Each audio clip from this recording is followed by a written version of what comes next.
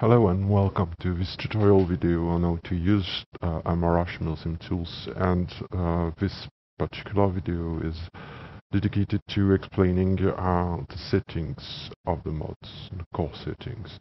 So first, uh, this mod relies on the fact that most, if not all, uh, Milsim tools, Milsim units use uh, a respawn bunker such as this one to play, which means that whenever a player dies, they are respawned here in the bunker. Usually there are computers that they can use to access uh, spectator mode, but they are still in the game and they are still alive as far as the Arma 3 engine is concerned. So one of the core features of the mode is to circumvent the issue.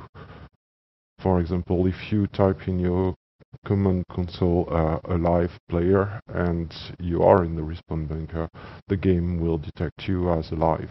And some mission makers might want to know whenever players are dead and in the respawn bunker. And this mode just does just that.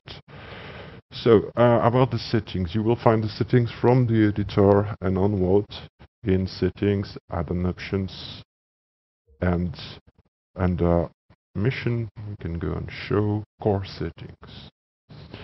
So, the first setting is auto kill reconnecting dead players. By default, this setting is disabled.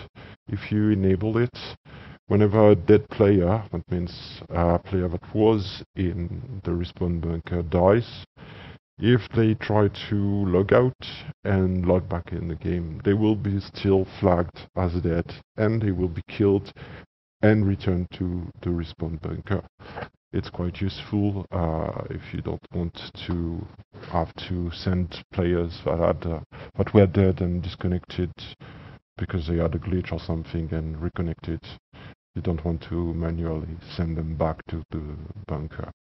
Now this function here, this setting here, reset as died and respawn, is disabled by default. Only enable is if what I said before about uh, respawning in a bunker is not what you do, if it's not your usual respawn scheme. For example, if you go into attributes, multiplayer, and your respawn as uh, respawn in waves, uh, respawn loadout, respawn position enabled, and a longer respawn time, which means that when your player die, they will be, after a while, after allowed to go back in game. Then you should enable this. Otherwise, please do not enable it, because it will fuck uh, a lot of stuff in the mod.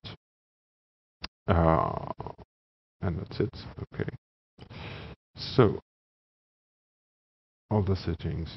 Uh, show casualties int will give the admin and only a logged in admin, admin uh, int whenever a player uh, dies in game. It's useful for keeping track of who's alive and who's dead.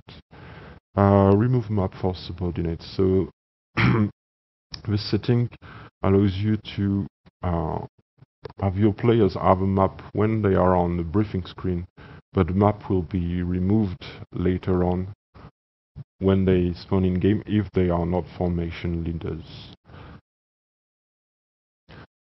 So now I, I'm on the briefing screen and I still have my map, but once I load in game,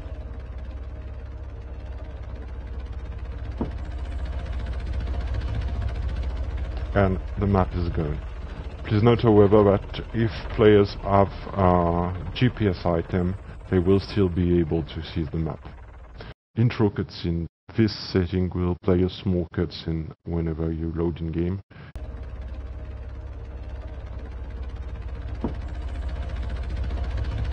And remove body of disconnected players.